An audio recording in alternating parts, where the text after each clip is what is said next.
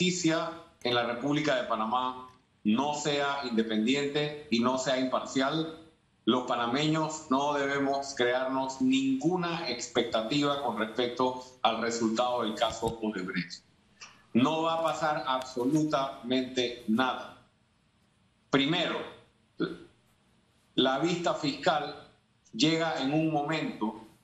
eh, en el que faltan escasos tres años para las elecciones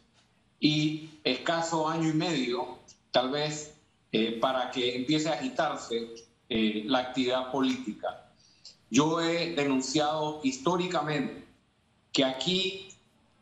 la política se ha visto dominada y controlada por pactos de impunidad. ¿Cómo van a negociar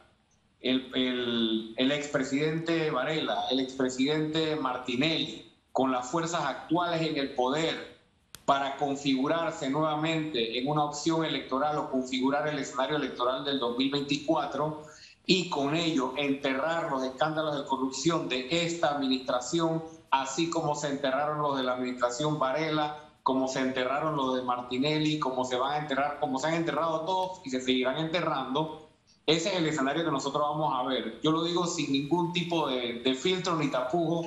la investigación del caso de Brecht, a pesar del esfuerzo de la Fiscalía, será una forma más de entretener a la población mientras no hay trabajo, mientras no hay ingresos, mientras no hay agua, mientras